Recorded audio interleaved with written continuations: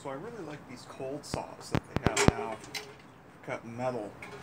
But an issue I didn't see when I bought it was that it makes a real mess, and it's not exactly that it, it puts out like a lot of dust or anything. It puts out chips, which just fly everywhere.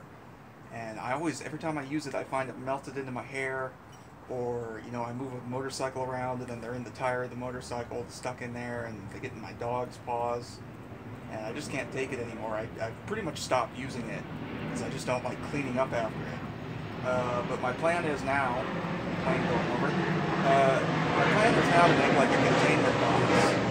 So I'm going to take some aluminum, I'm going to kind of surround the bottom with aluminum with the handle coming out, and then we're going to make kind of a cover for it.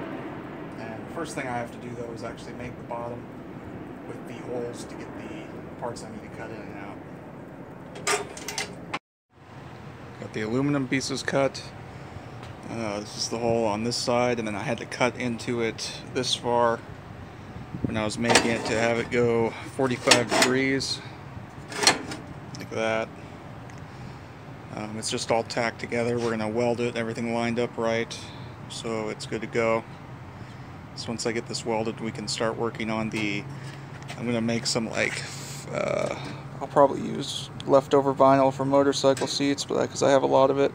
But I'm gonna make like some uh, fingers in here uh, to keep the chips from coming out of these holes. And then I'm gonna see how much more of that vinyl I can find to make a cover that goes over the top. But that's how it's looking right now. So this is how my setup works to weld uh, weld to weld this. I usually use it to weld fuel tanks um, this is just a little adjustable bracket here that goes up and down. And on here's a drawer slide. So when I'm using the torch, I just hold it in one spot and it'll basically follow along right where I need it to be. So that's how that's going to work. And this is 6061 aluminum and I'm welding it with a uh, 16th 4043 rod um, and it's going to be on pulse. So it's actually pretty easy.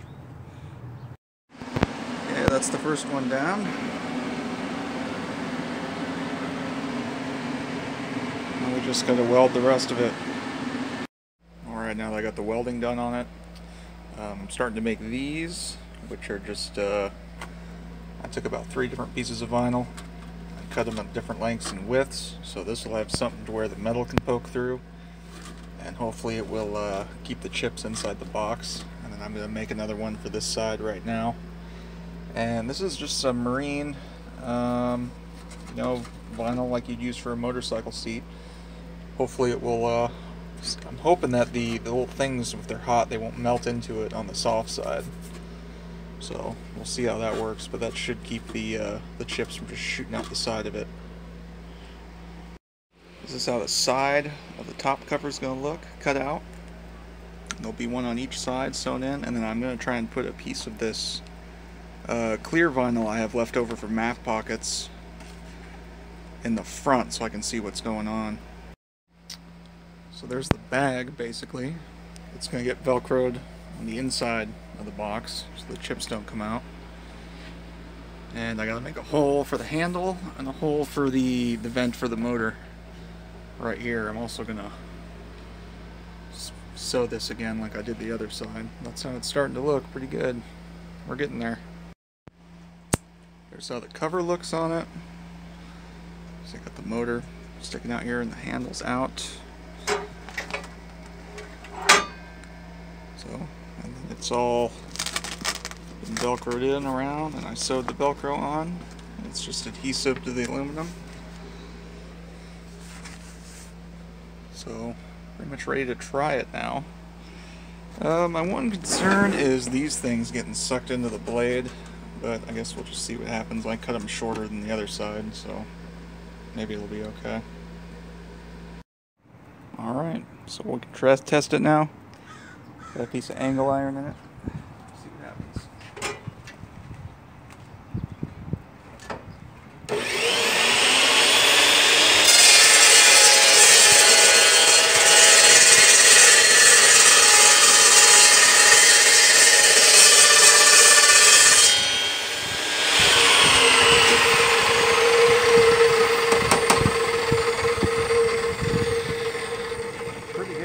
Saw like one piece, little piece, followed over there on that side, but uh, nothing came out over here.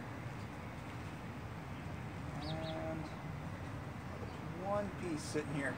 That's pretty good. That's pretty good. A little more work on the uh, the sides of it, and I could probably get all of it in there.